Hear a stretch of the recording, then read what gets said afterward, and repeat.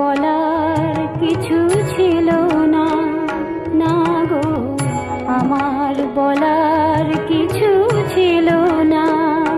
আমরা সবাই মিলে যেটা ডিসিশন নিয়েছি, আমি কোঅর্ডিনেটর হিসাবে সেটা বলছি, সেটা হচ্ছে আমরা সম্মিলিতভাবে বাংলাদেশ কমিউনিটির সমস্ত অর্গানাইজেশনদেরকে নিয়ে আমরা সম্মিলিত স্বাধীনতা দিবস প্যারেড করব ইনশাল্লাহ ছাব্বিশে মার্চ দুই হাজার এগারোতে। এবং আমরা এই পর্যন্ত ডিসিশন নিয়েছি যে আমরা এই প্যারেডের একটা কনভেনার কো কনভেনার এবং প্যারেড কোঅর্ডিনেটর হিসাবে আমাদের মধ্যে থেকে মেম্বাররা থাকবেন। প্রায় বিয়াল্লিশটা সংগঠনের সম্মতিক্রমে আমরা একমত হয়েছি। সেজনের কমিটি করা হয়েছে। পাঁচজনের কমিটির মধ্যে আমি, মুজিব সিদ্দিকী, ওখানে আছেন শামসুদ্দিন মানিক, ওখানে আছেন জাহিদুল মাহমুদ জামি, ওখানে আছেন জয়নাল আবেদিন এবং সাইফ কুতুবি।